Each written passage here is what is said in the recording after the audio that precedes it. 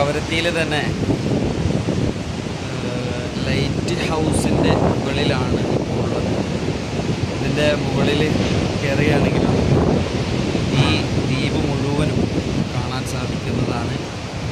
കടൽ അതുപോലെ നല്ലൊരു വ്യൂവാണ് ഇവിടെ നമുക്ക് കിട്ടുന്നത് ഇതിന് മുകളിലേക്ക് കയറാൻ ചെറിയൊരു ടിക്കറ്റ് എടുത്തു കഴിഞ്ഞാൽ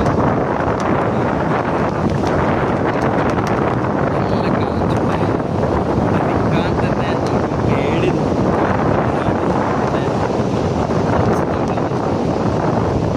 അതായത് വളരെ നല്ല ഒരു വ്യൂ ആണ് ഇവിടെ നിന്ന് നമുക്ക് കിട്ടിക്കൊണ്ടിരിക്കുന്നത് എന്താ ഇവിടെ നിന്ന് കഴിഞ്ഞാൽ നമുക്ക് ഈ കവരത്തി ദ്വീപ്. ദ്വീപിന്റെ മുഴുവൻ ഏകദേശം മുഴുവൻ ഭാഗവും നമുക്ക് കാണാൻ കഴിയും.